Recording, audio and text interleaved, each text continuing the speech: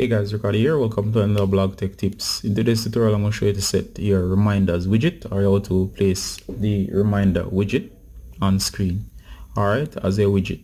So first, find a blank space. Any space will do.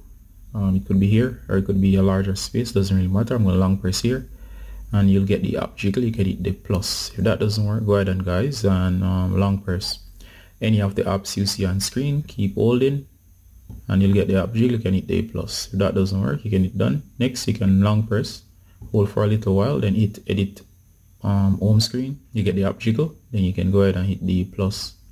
Alright since we're dealing with reminders here guys um, we're gonna scroll all the way down and you're gonna look for the reminder option. There you go so go ahead and tap you have three options the small the medium or the large I tend to like the um, this one here which is the medium. So go ahead and hit add widget. Once you hit widget guys you should be here where you're getting the um, jiggle you can move it over. And of course you can move it around. If you wanted to you can move it over to a blank space and create a total new page. All right when you're finished go ahead and hit um, done. All right if you want to as well guys i have no reminders right now but if you tap you'll be taken to the reminders app if you want you can allow and set it up. Um, I haven't um, set any as yet. So what I'm gonna do is I'm just gonna close this out. Alright so you can easily set your reminder and see your reminders as to important things to do.